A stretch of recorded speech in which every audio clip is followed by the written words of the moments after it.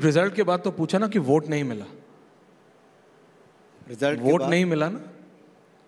ये आंकलन आप करते हैं आपका काम मैं नहीं कर रहा बीजेपी के नेता कर रहे ऑफिशियली कर रहे बीजेपी के लीडर्स कह रहे कि हमको एक वर्ग का वोट नहीं मिला।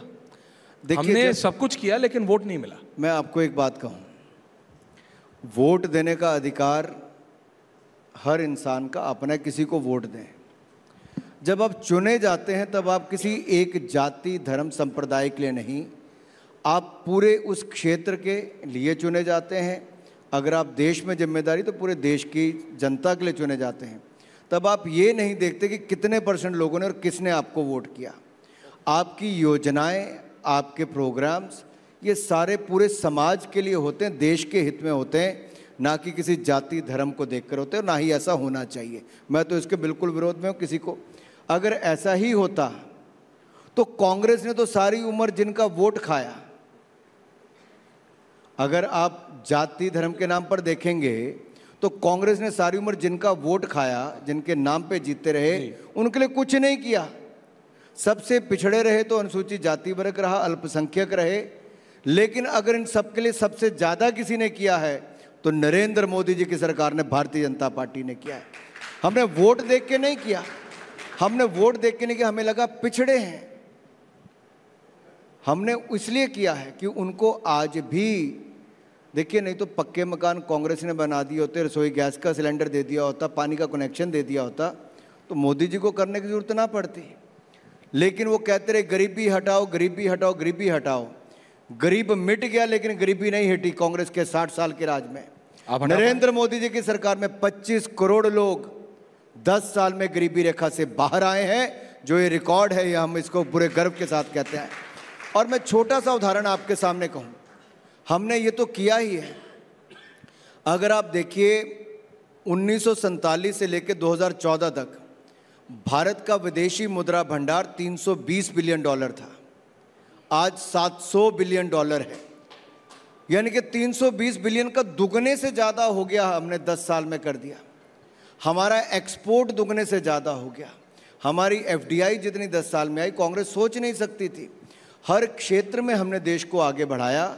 हमारी अर्थव्यवस्था दुनिया में ग्यारहवें नंबर पर थी।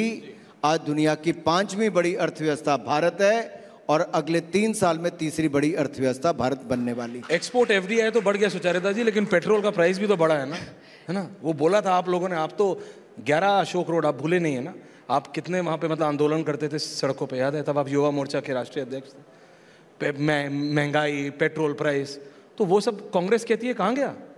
देखिए कहाँ गए वो वाले अनुराग ठाकुर जो सड़कों पे बैल बैलगाड़ी लेके आप निकलते थे? मैं धन्यवादी हूँ आपने सवाल पूछा।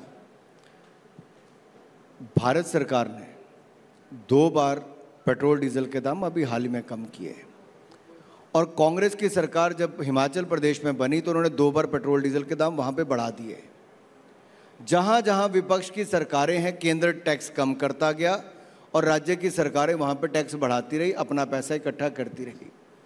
आखिरकार ये ज़िम्मेदारी दोनों की है, राज्य की भी है और केंद्र की भी है। केंद्र ने डीजल, पेट्रोल, इन पे भी अपना जो टैक्स है उसको कम किया और वहीं पर गैस पे भी दाम को कम किया है। अनुराग जी ऐश्वर्या ने अभी आपसे बात करी, आपके बयानों को लेकर। आप क्योंकि हिमाचल से आते हैं और हाल फ़िलहाल में जो एक विवाद संजोली में हुआ, उसके बाद मंडी में हुआ, एक अवैध अतिक्रमण को लेकर हुआ, उस पर आपके कई बयान भी आए। अब उन बयानों पर भी बहुत सी प्रतिक्रिया आप कांग्रेस पार्टी का ज़िक्र कर रहे थे, उनकी आई। मैं आपसे सीधे पूछूँगी कि आपके क्या वो बयान विभाजनकारी नहीं है? क्योंकि कांग्रेस पार्टी कहती है, आप लोग सत्ता में थे, आपने वहाँ पर अवैध अतिक्रमण होने दिए, अब आप सत्ता में नहीं है वहाँ पर तो आप सीधे ठीकरा फोड़ रहे हैं। हटाने के लिए किसने मना किया है? आप खुलकर कह रहे हैं सब हटा देना चाहिए। नहीं नहीं हटाने के लिए किसने मना किया? अगर अवैध है तो अगर दो साल से कांग्रेस की सरकार राज्य में है और किसने प्रश्न उठाया? अनुराग ठाकुर ने नहीं। सबसे पहले कांग्रेस के मंत्री ने विधानसभा में सवाल उठाया और जब वो सवाल उठा रहे थे आगे मुख्यमंत्री जी सो रहे थे। और शायद ये सरकार राज्य की कांग्रेस की दो साल से सो ही रही थी।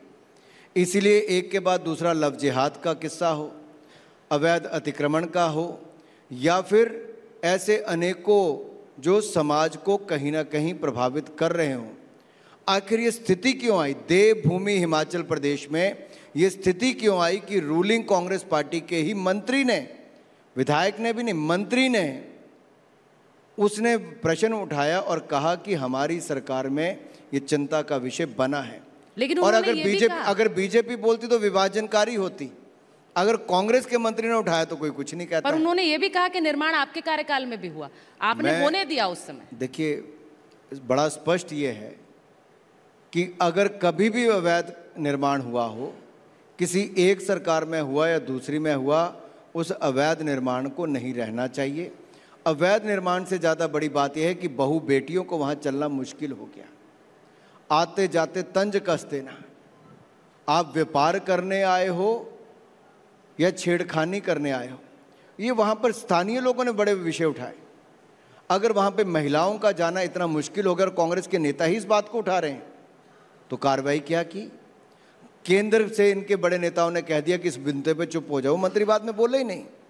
इनके दूसरे मंत्री ने कहा कि हम कुछ करने वाले हैं, तब उन पर प्रश्न चिन्ह खड़ा कर दिया जब उन्होंने कहा कि योगी आदित्यनाथ जी की सरकार ने बहुत अच्छा किया। हम भी उसी लाइन पे रेडी पटरी वालों को करने वाले हैं कि वो अपने आगे नेम प्लेट लगाएँ और अपना सब कुछ करें। तो उस पर भी कांग्रेस ने कहा कि आपने योगी सरकार की तारीफ़ राजनीति कला संस्कृति का संगम किसमें कितना है दम? राष्ट्र सर्वोपरि सम्मेलन 18 अक्टूबर सिर्फ़ रिपब्लिक भारत पर।